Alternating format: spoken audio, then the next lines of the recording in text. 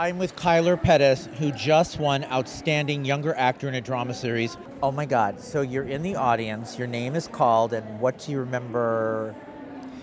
I remember crying, hugging my brother, my sister, my mom, and my mom. We're all just crying, and my mom's like, "Pull it together! You got a speech to do." So that's what I did.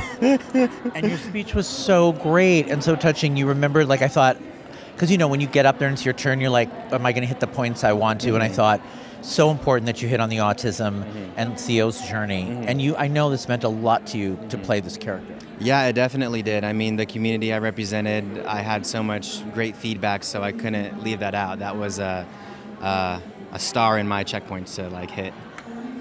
The reel that you won for was so sad.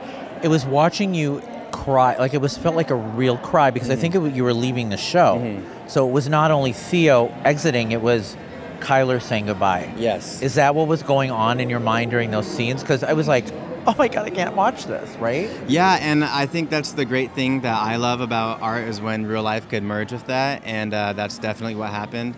Um, it was Theo's last days in Salem. It was Kyler's last days on days, so it was definitely real.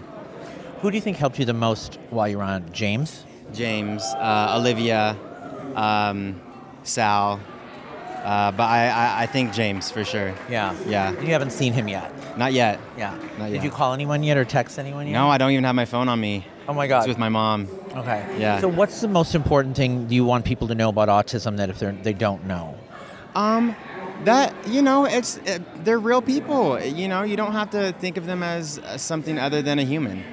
Period. Right. right. So now that you won an Emmy, where will it go?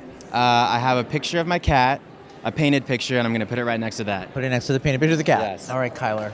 Great to see you. Congratulations you so on this win. Thank you. I appreciate yeah, it. Yeah, very well Thank deserved. You.